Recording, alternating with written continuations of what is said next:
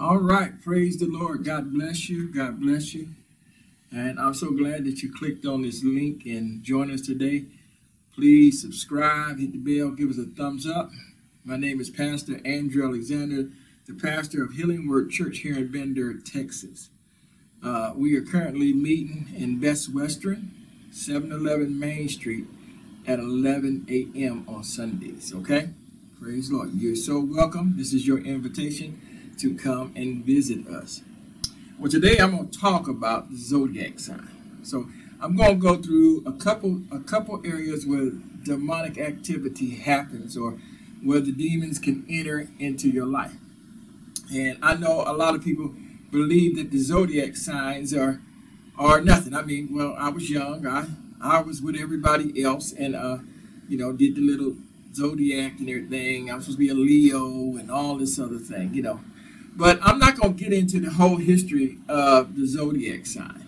I'm not going to do all that. But what I am going to do, I am going to talk about it uh, from the Bible standpoint. And this is something that God does not want us to be involved in because it causes us to be disobedient unto the Lord.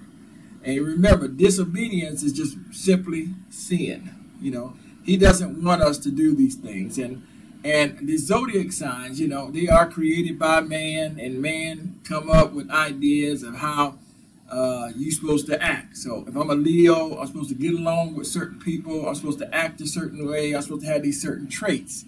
And, you know, that's what they came up with. That's what man came up with.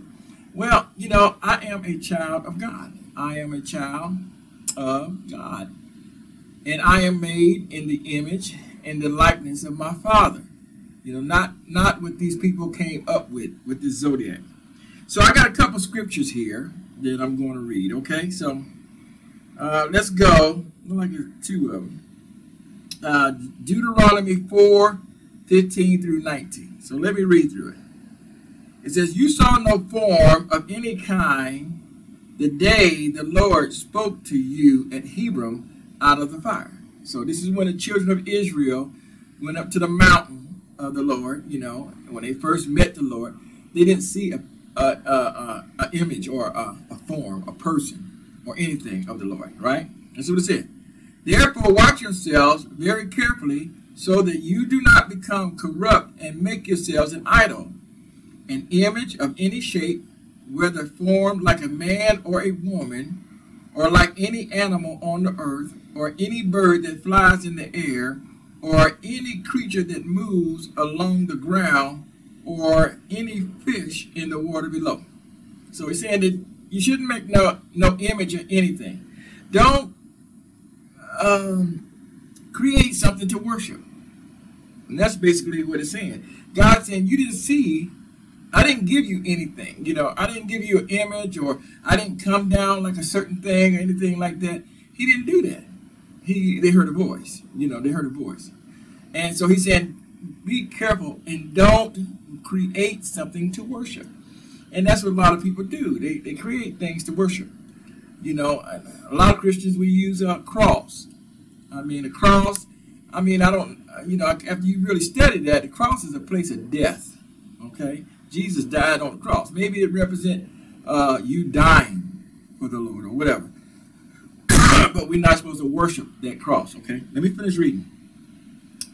And it says, And when you look up to the sky and see the sun, the moon, and the stars, and all the heavenly array, do not be enticed to bow down to them and to worship things the Lord your God has appointed to all the nations under heaven. So he's saying, don't worship those things. You know, we get into these uh, zodiac signs and everything, and we just take it as gospel. It's really not gospel. I mean, we it's not gospel, you know, and we believe in those things. We believe that these things have something to do with our life, and and and a lot of times people they will read the horoscopes and everything and say, "Oh man, today I'm not supposed to do this or do that." You know, no, no, no we get our direction from the Lord. That's why we go before the Lord. We pray and say, Lord, what should I do today? Who should I get in contact with or whatever? You know, have God in the midst of all of your business, you know.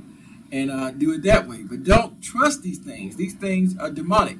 What these zodiac things do is to take your focus, take your worship, take your inquiry off of the Lord. That's what they do. They take it off. So so you'll you'll do something other than go to God. God wants you to come to Him for everything that you need. He wants you to come to Him. He wants you to seek His face, and He'll give you the answer. He'll provide those things for you, and not this zodiac. Because you know, zodiac is written by men. It's written a lot of times. I, I read some stories somewhere, and I would have to go look it up. You know, a lot of witchcraft, a lot of people, witches and stuff, write these little zodiacs.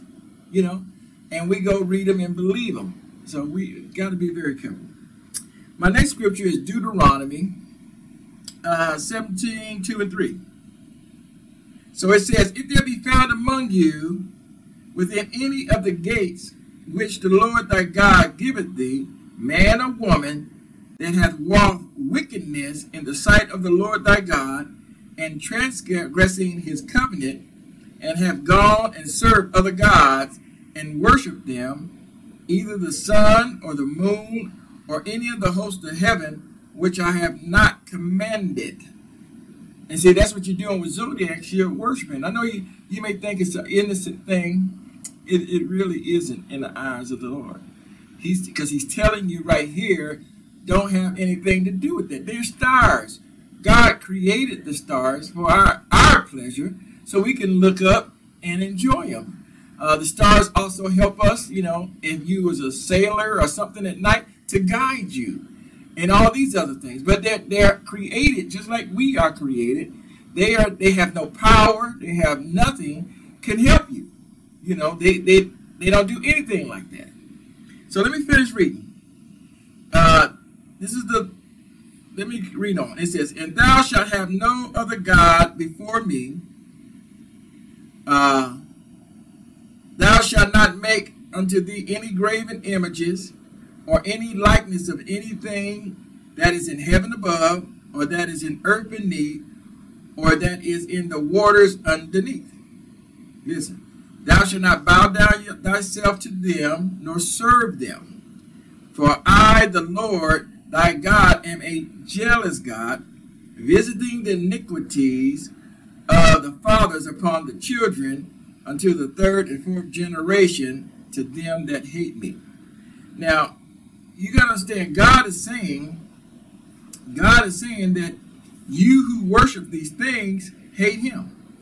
And uh, he said that he will send, allow a curse to come on you to your third or fourth generation of children. I mean, that's a long time, you know, because God said you are hating him because you are worshiping these other gods. Because that's what it is. When you're doing the zodiac and all this other stuff, and I know a lot of people really study and really get into these things and they really believe in these things, but you are turning away from your creator. And that's what the enemy wants you to do. The devil, he wants you to worship anything other than God. And like I said, that is a form of worship. You get up every morning, read your zodiac, and say, okay, I got to do what the zodiac says, you know. You're worshiping something other than your creator. The zodiac, those stars, again, are created by God. Therefore, your pleasure, you can enjoy them at night, you know, but but uh, you're not supposed to worship them. We're supposed to worship the creator, not those things that are created. And that's what the devil wants to do. He wants to get you uh, out of pocket. He wants to get you not serving God. And he got multiples of ways to try to draw you in.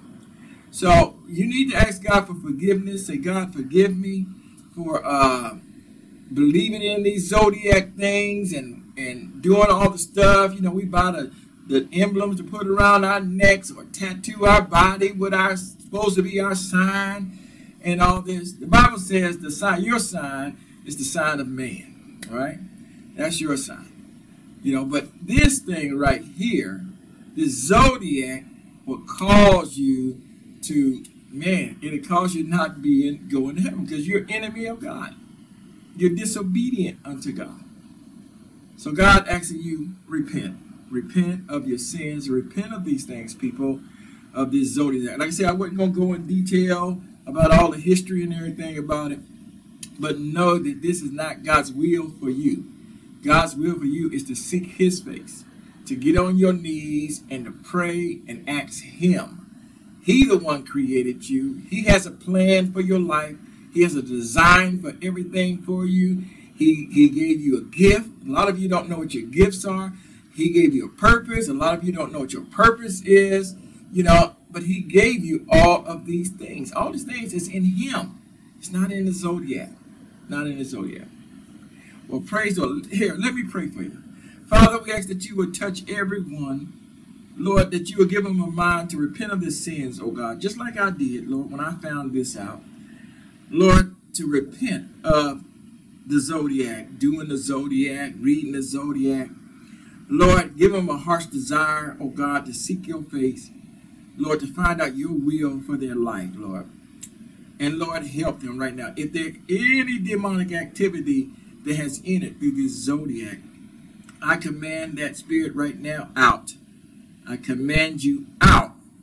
Out of them right now. I command zodiac signs, zodiac, Leo, whatever the sign may be, whatever your name be, may be, out I command you out of them right now. I command you leave them right now. I command you to go. I command you out.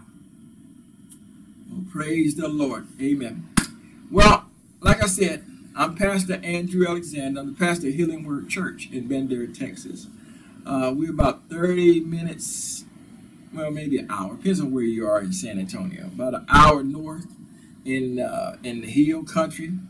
And uh, if you need some deliverance, that means you have, uh, or exorcism. I mean, they're pretty much the same word.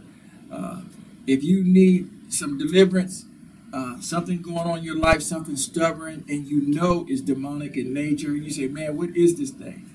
You know, something touching you at night, sexual dreams, uh, things moving in your house, seem like you constantly having accidents and stuff like that, contact us. Come to the church. Come to the church. Let's talk and let's work this thing out. So if you need some healing for your body, you got sickness, disease, whatever it is, uh, uh it, it, don't. It's nothing too hard for God to heal. Come to the church because we have healing service every Sunday. We have deliverance every Sunday. I can't do a long deliverance and everything because I'm renting the place. But we have a short deliverance, and if I know what's going on, maybe we can hit that thing that's going on with you or heal your body. You blind and can't see, come and be healed. If you hear, if you got ears and cannot hear anything, come and be healed. You know, you got something going on in your body, uh, some kind of sickness, some kind of disease, whatever it is, come and be healed. God will perform this act for you. Amen. Amen. Praise the Lord. Well, praise the Lord. Like I said, uh, hit the bell, subscribe, like, share it, and uh, and I look forward to seeing you. Remember, we're in Bandera, Best Western, 711 Main Street, 11 a.m. All right. God bless you. God bless you. God bless you.